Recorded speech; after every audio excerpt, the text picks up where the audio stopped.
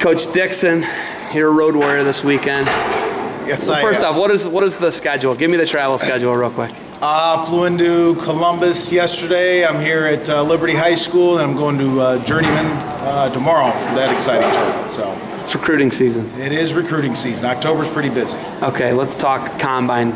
This combine here, they got they got a uh, it's a ton of kids here. Mm-hmm. Okay, they're they're in the 90s, I think, 90 maybe 100. Yeah. When you look at an, you know an event like this coming to it, what are you getting out of you know seeing kids, seeing them in the wrestling room as opposed to the gym where they're competing in the singlet? What are you getting out of this? Practice is always a good environment because you can actually see what the work ethic is like, and obviously that's what you want to do. Uh, in college, you only get 16 days to compete. You're going to be practicing a lot more than what you're actually going to be competing. So, you know, you got to love to train, you got to love to work out, and if um, you, you want to see how kids adapt to that environment, you know, so they're kind of putting them through different things, and it's just good to see kids that love to train, love to work out. you guys love to train, you love to work out. I've seen some of the stuff that uh, you know Joe Williamson did with you, Mark Bader's done with you. And, uh, no, no fists, open hands only. You know what I'm talking about, right? And you guys, you know, all that hard work you guys have put in. You're at the critical tipping point. Two All Americans last year.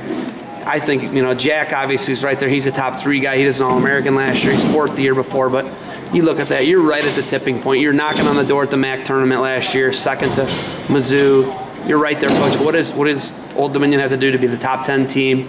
Knock on the door in the MAC and be the team. What do you guys got to do? Uh, we just got to kind of break through and get it done. You know, um, last year was the first time in 20 some years that we've had multiple guys play. So it's it's baby steps. It's not necessarily as quickly as we'd like it to happen, but you know, this upcoming year we'd like to have three, four, or five All Americans. Certainly think we have that uh, capability in our room, but it's just we got to go out and actually get it done. You know, you can talk about it, you can be about it, but at some point you got to step on the mat and actually line up and just go out and do it. Obviously, I, we know Jack and All American. You got Lenny back. You got Makade back.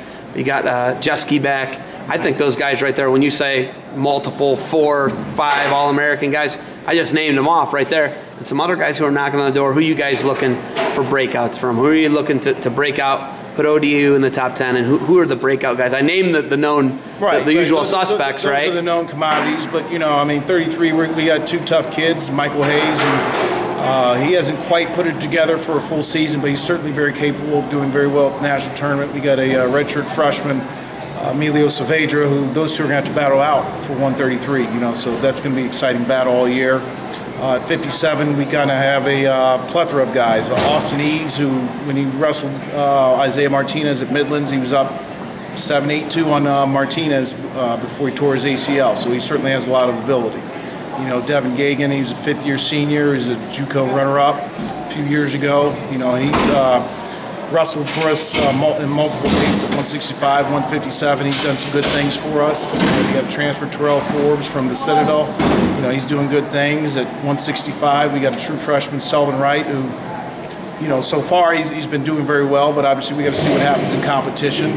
Uh, Brooks Clemens is a transfer for us, you know, from Oklahoma. Uh, he's dropping down a week, so we, we think some good things can happen with him. He certainly has a lot of ability, um, and you know, we, we think he's finally at the right spot, and he, he's in a good situation for us. You know, When you try and push him up to, to uh, maybe replace Beasley, or are you going to drop him down? Uh, we're dropping him down to 174, and their old 174 pounder Austin Coburn, we're actually moving him up to 197 to replace To- Beasley. to- okay. All right. I was wondering what the Be- where Beasley- That, I was- I was- that, that, uh, that's kind of what happened there. So you know, our, our upper weights it's looking like it's going to be Clemens, you know, Jack at 84, and then um, Coburn at 197, and then heavyweight. You know, we got a bunch of young kids at heavyweight, so we're tr- trying to figure out what happens there.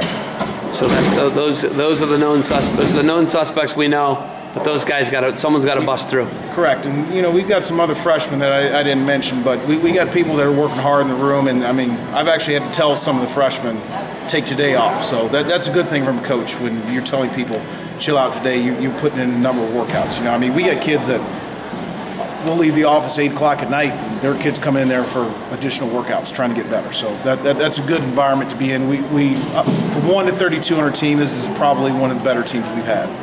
Can one of those guys win the title for you this year? Absolutely. We have multiple people that can do that. So um, it's, you know, obviously staying away from injuries, knock on wood, none of that happens, but uh, we they have the ability, they have the drive, so it's obviously just making sure it happens in March. All right, coach. You got anything else for me?